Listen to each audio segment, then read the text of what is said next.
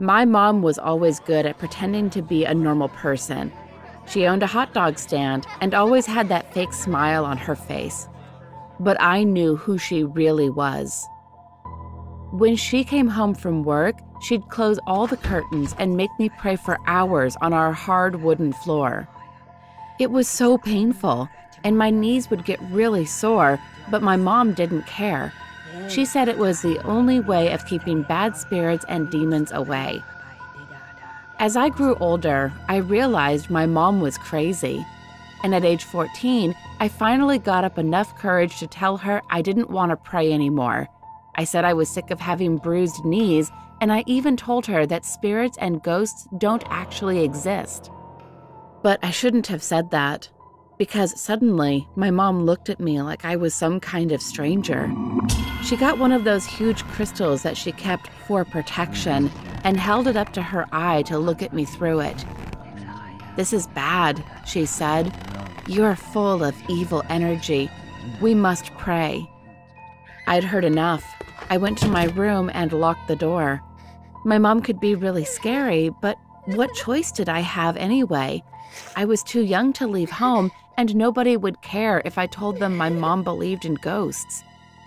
So I knew I was trapped, but I never expected what happened next. That same night, I was woken up by the sound of someone trying to open my door. I thought it might be an intruder, so I asked, Mom, is that you? She replied, Yes, sweetie, it's me. Please, open the door. I'm worried about you. I didn't want to let her in, but she was my mom, and that's why I opened the door for her. But then she immediately flew at me, screaming, You're the devil! Leave my daughter, foul beast! She was waving a large crucifix around, and I saw that she had sharpened the bottom to a point. Was she trying to stab me? I've never been so scared in my life. But then I picked up my blanket and threw it over my mom, so I had enough time to escape and run outside. Luckily, I ran into a jogger on the street who called the police for me. Shortly after, my mom got arrested.